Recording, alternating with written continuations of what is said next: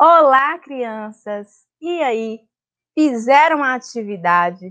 Aproveitaram esse tempinho já para tomar aquela água, ir ao banheiro, fazer o lanchinho? Aproveitaram? Pois é, que agora a gente vai falar de algo sério, né? Nós vamos ter mais uma aula. Então, vamos deixar o TikTok de lado, vamos deixar os brinquedinhos de lado e vamos à aula, né? Hoje nós teremos aula, mais uma aula aí, desta vez aula de linguagens. E estudaremos contos de fadas no teatro. Os contos de fadas são histórias que, desde a antiguidade, as pessoas transmitem de geração a geração. Muito tempo se passou desde sua origem. Mas esses textos foram lidos e relidos em todas as épocas e são até hoje. Se vocês perguntarem para os pais de vocês, eles já ouviram essas histórias antes na infância deles, né? Então, esses contos de fadas, eles surgiram a partir de contos de pessoas que foram contando, uma pessoa foi contando para outra, foram criando, foi, foi registrado, né? No caso, essas histórias, elas foram registradas, e através de livros, e outras pessoas foram fazendo adaptações dessas histórias, e hoje nós temos aí inúmeros é, escritores que escreveram sobre essas histórias, como por exemplo os irmãos Green, né? No princípio, os contos tinham como público-alvo os adultos e caracterizavam-se por serem narrativas bastante fortes, que mostravam traições, vinganças e mortes. Com o tempo, esses contos eles sofreram diversas adaptações até chegar à forma conhecida de hoje, né? Muito mais voltada ao universo infantil do que ao, ao universo adulto, né? Então, eles foram escritos inicialmente lá na antiguidade, né? Para adultos, porém foram adaptados e hoje é mais voltado para o universo infantil. Em geral, pais e avós costumam ler para as crianças histórias que se passam em reinos distantes e envolvem príncipes, princesas, fadas, dragões, feiticeiros, dentre muitos outros elementos mágicos. Provavelmente você já leu e ainda lê muitos contos de fadas, histórias como de Cinderela, Bela Adormecida, Chapeuzinho Vermelho, João e o Pé de Feijão, entre outras, estão muito presentes ainda aí no imaginário de todos. É difícil encontrar alguém que nunca tenha ouvido falar dela. Vocês já, Vocês já encontraram alguém que nunca ouviu um conto de fada? Essas histórias aí, elas estão no repertório na infância de todo mundo, né? É, é raro você encontrar uma pessoa que não conheça Chapeuzinho Vermelho, que não saiba quem é João do Pé de Feijão, né? Que não saiba quem é João e Maria, que não saiba quem é Cinderela, é Branca de Neve, Bela Adormecida. Eu nunca encontrei alguém que não conheça essas histórias. Vocês já encontraram alguém que não conhece essa história? Ou essas histórias, né? Eu acho bem difícil. Geralmente, um conto de fada, ele vai ter o quê? O agressor, que é o vilão da história, né? Igual, por exemplo, na história de João e Maria. Quem é que é o vilão? É a bruxa, né? Quem em, em Chapeuzinho Vermelho, quem é o vilão? É o lobo mau. Branca de Neve, quem é que é o vilão? É a madrasta de Branca de Neve, né? Então, sempre um conto de fadas, geralmente, né, vai ter um vilão. Tem o doador, que em geral é a fada madrinha, né? Alguém que ajuda aquele personagem é, principal, como é, por exemplo, na Cinderela, que ela queria ir a, ao baile, né? E aí a fada madrinha dela ajudou transformou ali a abóbora em carruagem, os ratinhos nos cavalos, fez um vestido, né?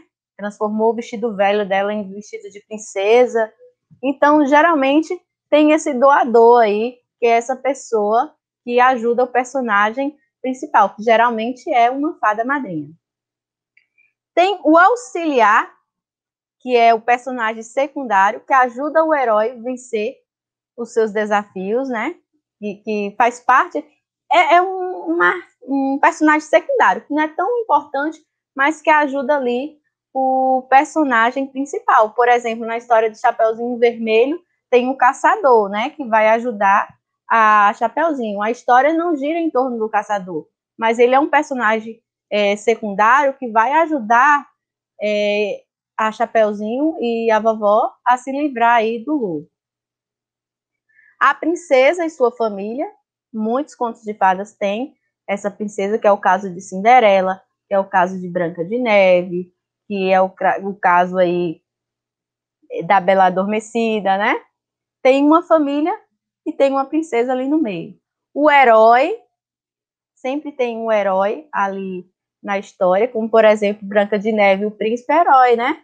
Através do beijo do príncipe, a Branca de Neve, ela é, voltou a viver, né? O falso herói, que é aquele personagem que é, se finge de bonzinho, mas não é bonzinho, né? É o chamado falso herói. Não tem todos esses aqui em um único conto de fada, mas geralmente a maioria deles vai estar presente aí nos contos, tá?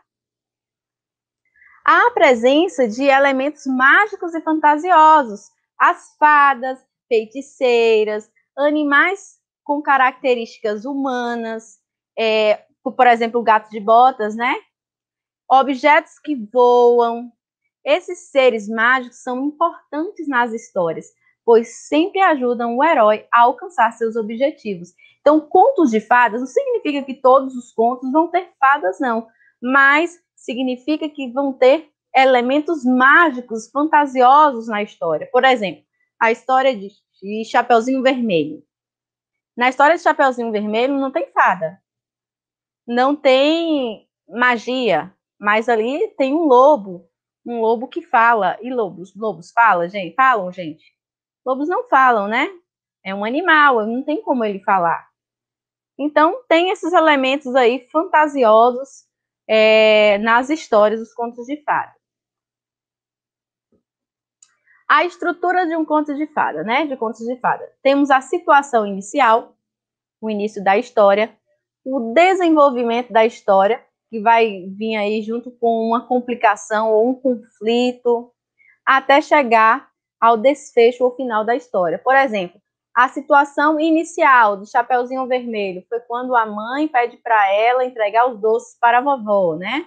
Desenvolvimento, Chapeuzinho Vermelho atravessa a floresta e aí ocorre uma complicação, ou seja, um conflito, né?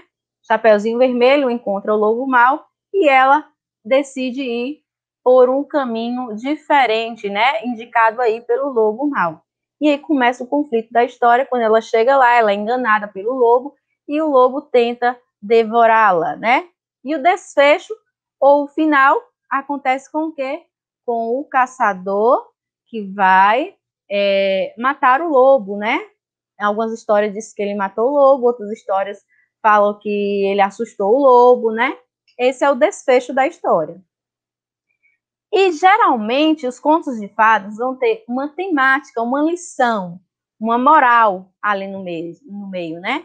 Chapeuzinho Vermelho, por exemplo, tem a lição de não conversar com estranhos, né? No conto de fada também vai indicar o lugar onde aconteceu, lá no meio da floresta, né? O narrador, vai ter um narrador na história dos contos de fadas, tem narrador, e o tempo, né? Quando foi que aconteceu. Tudo isso aí vai estar presente aí dentro do conto de fadas. E nós vamos agora assistir a um conto, né, que é João e Maria. É um conto de fadas também, onde nós temos como vilão aí a bruxa, né? Eu acredito que vocês já já viram ou já ouviram ou já leram um livro é, sobre João e Maria. Mas a gente vai ver mais uma vez só para vocês compreenderem aí melhor o que, que é um conto de fadas, certo? Olá, pessoal! Tudo bem com vocês? Bem-vindos ao canal Contando Histórias. Hoje a gente vai ver a historinha de João e Maria interpretada pelo Cascão e pela Magali. Quem melhor para fazer essa história do que uma menina que adora comer? Com certeza ela vai se ver encantada com a casa feita de doces. E também o Cascão. Ele que não poupa uma confusão para poder se meter, hein? Eu acho que vai ser bem legal. Então, com vocês, João e Maria. Perto de uma floresta vivia uma família muito pobre, que nem tinha mais o que comer. A madrasta então disse ao marido para se livrar das crianças, deixando-as perdidas na floresta. As duas, que ainda estavam acordadas, ouviram tudo e ficaram muito tristes. No dia seguinte, enquanto caminhavam para a floresta, João foi jogando pedaços de pão para marcar o caminho. Quando chegaram a uma clareira, o pai fez uma fogueira e disse para as crianças dormirem, enquanto ele ia colher umas frutas com a mulher. João e Maria ficaram sentados junto ao fogo por muito tempo, até que adormeceram. Quando acordaram, já era tarde da noite e o pai e a madrasta haviam sumido. João estava tranquilo, pois havia marcado o caminho de volta com as migalhas de pão. Só que, quando amanheceu, viu que os pássaros da floresta tinham comido todas as migalhas. Perdidos, João e Maria caminharam por muito tempo, até que viram um lindo pássaro. As crianças o apanharam, encantadas, até que ele pousou no telhado de uma casinha. João e Maria chegaram perto e notaram que a casinha era feita de pão doce, coberta de bolo e com as janelas de açúcar. Com muita fome, começaram a comer as paredes da casinha. De repente, a porta se abriu e apareceu uma mulher muito velha que tomou os dois pelas mãos e os levou para dentro. Serviu comida às crianças e arrumou boas camas para elas. Na manhã seguinte, a velha, que era uma bruxa, trancou João numa jaula e mandou Maria preparar comida para ele. A velha queria engordar João para poder comê-lo. A bruxa pedia para João mostrar o seu dedo, assim saberia se o menino estava gordinho. Mas a velha não enxergava bem e João, esperto, mostrava um ossinho de frango. Um mês depois, a bruxa viu que João continuava magro e perdeu a paciência. Mandou Maria acender o forno, mas a menina pediu para a velha mostrar como se fazia. Quando a bruxa colocou a cabeça no forno, Maria empurrou para dentro e fechou a porta. Em seguida, foi soltar o seu irmãozinho. As crianças entraram na casa da bruxa para pegar algumas guloseimas e viram várias caixinhas cheias de pérolas e pedras preciosas. Pegaram tudo o que puderam. Em seguida, saíram rapidinho da casa da bruxa e, depois de caminhar por algum tempo, finalmente avistaram a casa de seu pai. Entraram correndo e o abraçaram. O pai estava arrependido e quando João e Maria souberam que a madrasta havia cansado daquela vida e ido embora, tiraram as pedras preciosas e as pérolas dos bolsos. Acabaram-se os dias de pobreza e todos viveram muito felizes. E assim termina a nossa historinha de hoje, João e Maria, na versão da Turma da Mônica. Eu espero que vocês tenham gostado. Vocês já conheciam essa história? E aí? Gostaram da história, gente? Pois agora eu tenho um desafio para vocês. Nesse desafio, olha, o desafio do dia, vocês deverão reescrever um conto, transformando o texto original em uma peça de teatro, ou seja, vocês vão escolher um conto de fada e vão fazer a encenação, né, com os familiares aí de vocês. Pode fazer com o irmão, a mãe, o pai, a avó, primo, tio, tio, com quem vocês quiserem aí da família de vocês. Para a escrita do texto teatral, sugerimos um roteiro aqui que está descrito logo abaixo aqui, ó. Onde aconteceu? O cenário, o local de onde ocorreu a história. Quando aconteceu? Tempo, época, há muitos anos atrás, certo dia, né? Vocês vão falar quando foi que aconteceu quem são os personagens, e aí vocês vão descrever esses personagens na história de vocês. Qual a história principal, né, o fato principal que aconteceu ali e qual o desfecho aí dessa história, certo? Vocês vão construir, com base em um conto de fada, uma peça teatral. Pode ter narrador? Pode ter narrador. Pro, não quero, quero só com falas. Também pode fazer dessa forma. E depois que vocês fizerem essa peça, vocês vão filmar a encenação. Claro que não será vocês sozinhos, serão vocês e seus familiares, algumas pessoas aí da família de vocês, tá? Vocês vão filmar, postar nas redes sociais e vão aí marcar a SEDUC, né, a Secretaria de Educação de Feira de Santana, e marcar também as, as escolas de vocês, tá? Quero ver a peça de vocês. Vou ver como ficam vocês aí como artistas, certo?